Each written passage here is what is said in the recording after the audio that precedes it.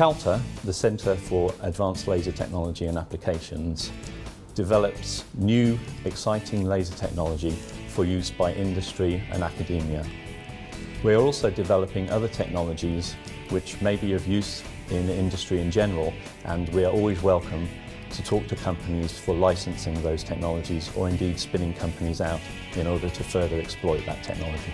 What we're doing at CALTA in particular is developing a brand new laser system.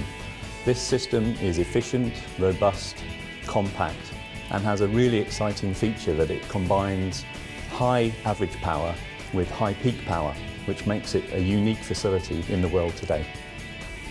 The kind of companies that we're looking to work with at both the laser facility and CALTA are across the board from micro SMEs all the way through to international and multinational companies.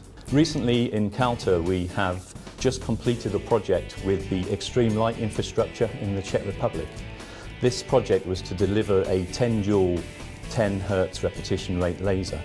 The ideal projects that we are looking for in CALTA are longer term collaborative projects that will allow us to build new relationships and increase our output and outreach to the UK and the rest of the world.